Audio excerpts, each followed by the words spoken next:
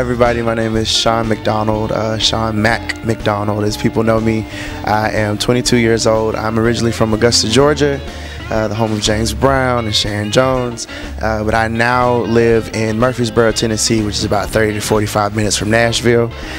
The music that I do is I do a lot of traditional blues. Uh, some of it's kind of, you know, on the edgier side, but that's just because that's how I play. But it's a lot of traditional blues from the late 40s to the early 60s, a lot of stuff that encompasses the 50s.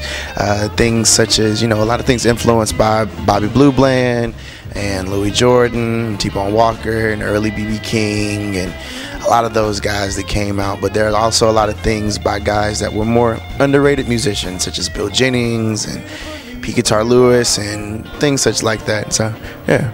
Blonde head, good looking, trying to get me hooked. Want me to marry, get a home, settle down, and write a book. Uh uh Too much funky business. Too much funky business. Too much funky business for me to be involved in. Same thing every day, getting up, going to school. No need in y'all complaining. Your objections overruled. Hey, too much. The music, I, I would say, um, somebody told me at one of our gigs recently he was like, "You play too complicated," and I was like, "What do you mean?" And he was like, "I prefer simpler playing." And a lot of my music is influenced by, like I said, more musicians who were jazz influenced, like a lot of the guys that came after Charlie Christian I love those guys. So a lot of jump blues guitar players and saxophone influenced guitar players. Me being a saxophone influenced guitarist myself, um, I try my best to sound as much like a horn as possible. But it's it's still, you know, it's still raw blues and you know very traditional blues. But some of the lines might be a little more, you know, oh that's that's something. You know what I'm saying? So it's um things like that and you know sometimes i'll throw in i have a you know a really good sense of musical humor.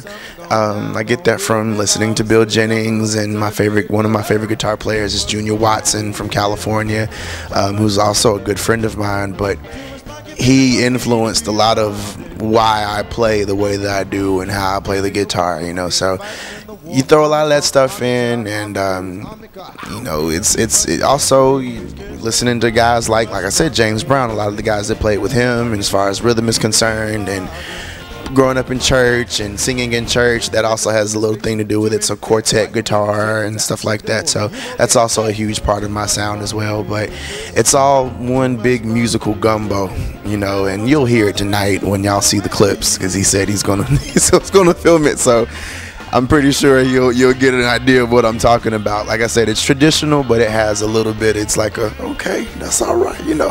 so yeah.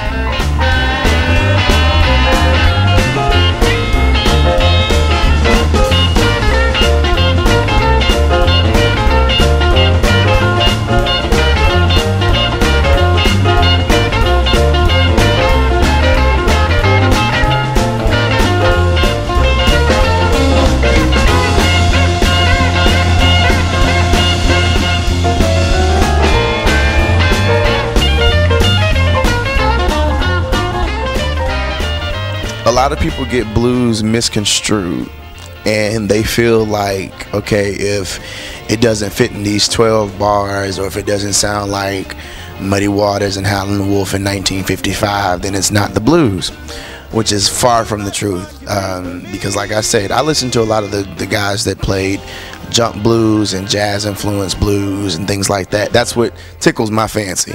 Um, but you, you have to realize that blues is not monolithic.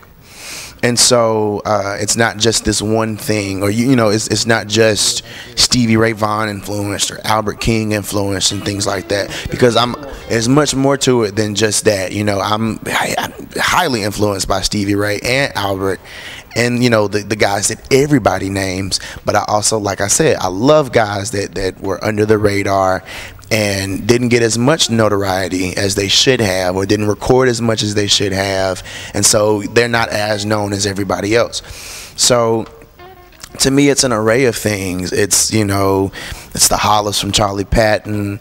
It's it's uh, it's it's Robert Lockwood's rhythm playing. It's it's uh, it's the distortion of guys like Willie Johnson, Pat Hare, and Pete Lewis and Tiny Grimes. Um, you know, it, there are a lot of things that go into this. It's it's. Uh, it's it's the growl of Koko Taylor and Big Mama Thornton. You know, there's so many things that go into you know what I like about the blues. And drove my mother stone blind.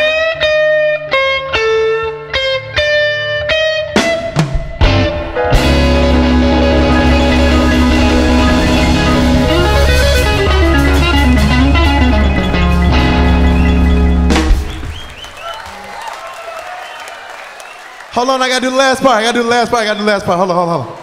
Watch, watch, watch, watch. Y'all gonna like this part.